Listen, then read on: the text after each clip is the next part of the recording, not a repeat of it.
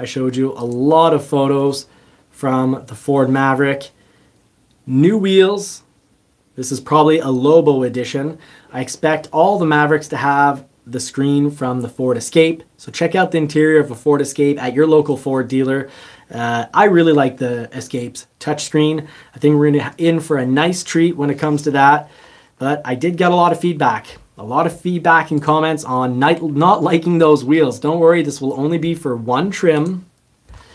But a lot of feedback also about people preferring the previous model. So this is the previous model of the Ford Maverick. It's going to be a bread and butter for Ford. If they can start producing, you know, 500,000 of these per year, I think they'll sell them all and it would be a real bread and butter the way the Chevrolet Cavalier was for GM, helped save GM. The Windstar really did uh, help, really helped Ford out in the 90s. This could really help, help solidify dollars for Ford for the future to help bear when they're going through governments that are trying to push them on electric, which is just, you know, pushing them towards being obliterated by China. But a lot of feedback about this here, people saying they weren't a fan of this new bumper style. I love the light. I'm not sure about the bumper style generally. I, just to share my bias with everyone, even when I saw the new Mustang on computer, I was like, ah, no, no, no, no, no. Then I saw it in person, and I was like, mm, maybe. And now it's been, you know, a few months and I'm like, I really like the style of the new Mustang. Things need to grow on me. And I, think this will grow on me. I, I do like the fact that it gives it more of an aerodynamic look, more of a like a functional beauty. I do really like the bottom bumper being plastic, but a lot of people pointed out that that's a little silly because you get these scratched up. So it's better that it's just flat plastic so the scratches kind of show less instead of the paint coming off and then being on the plastic but I've never really had that issue. So I, for me this is an incredible style. I love the bottom. Not all 2025 Mavericks not all of them will necessarily have the horizontal grille and it wouldn't even surprise me if Ford is watching you know car the Maverick car community and listening and get writing the feedback down. Okay are people liking the horiz- the vertical grill, or do they much prefer the horizontal, kind of like a honeycomb grill. I usually don't like change, and I can tell you at like first regard, I'm like, oh, it's it's rubbing, kind of rubbing me the wrong way. But I think with time, my brain will kind of accept it and like it because it does kind of look like a big rigs grill, like you know the traditional uh, chrome bars off 80s and 90s 18 wheeler big rigs. Uh, I think that's cool. I think that's got a lot of potential, but don't worry. Uh, a lot of people thought that these were you know computer generated or photoshopped photos and i'm here to say that is almost certainly not the case because after we saw other photos of a Maverick that was more camouflaged than this one. Surprisingly, they're camouflaging the grill. So I think this might be a one-off grill that we just saw. They're camouflaging the grill. They're camouflaging a whole lot more of the vehicle. I'm sorry they didn't camouflage the grill, so we won't be forced into a vertical grill.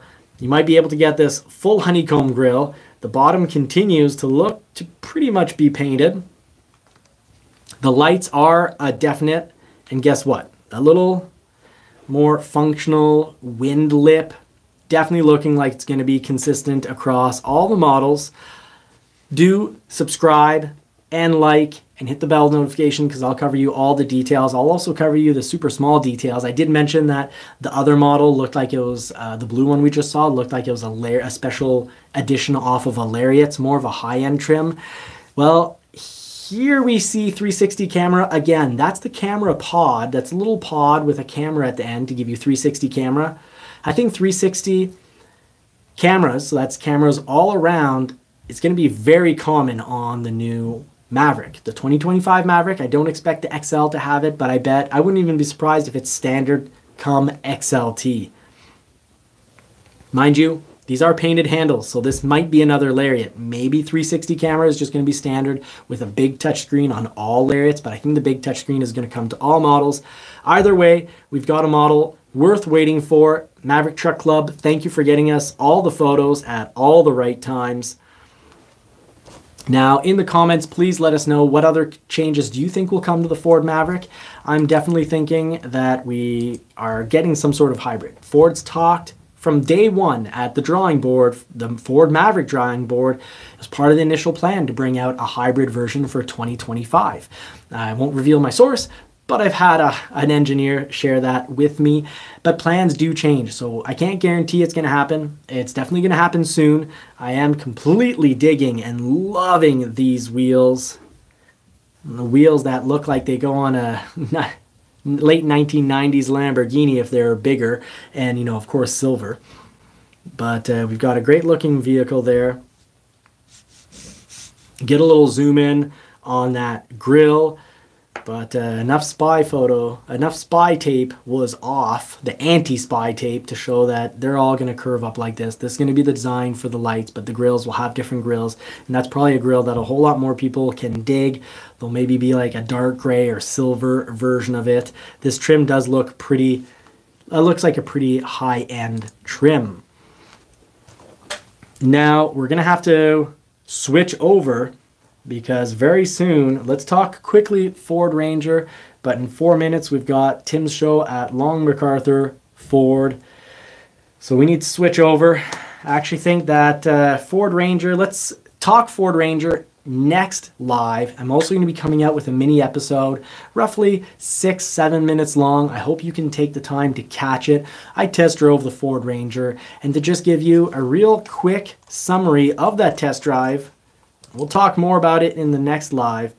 But real quick test, uh, real quick summary. Here I am test driving the 2.3 liter, and I found the previous model of 2.3 liter Ford Ranger engine to be